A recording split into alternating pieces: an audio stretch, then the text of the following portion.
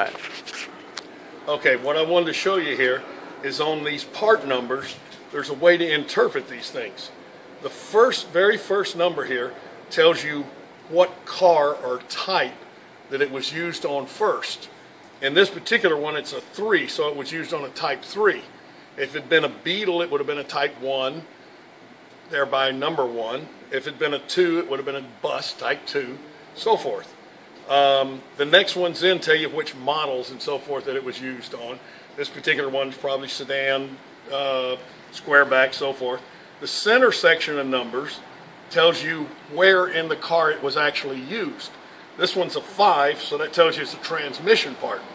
The um, If it had been a 9, it would have been an electrical part. If it had been a 1, it would have been a uh, engine part, so forth.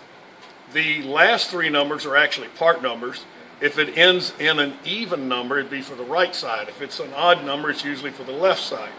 Then if it has letters after the end of it, what that usually means is that's a revision. In other words, they've improved it. Every time they improve it, they do up the letter. An A would be the first improvement. A B would be the second improvement, all the way through the alphabet. Uh, I don't think I've ever seen a Z, but uh, it might exist out there somewhere. So every time they they they um, improve the part, advance the part, Right. They would, they would add a number to it or a letter. a letter to it. Now, if they improve it to the point where it will no longer replace the original, it gets a whole new part number. So as long as it's letters on the end, you know it will physically replace the original part. Okay?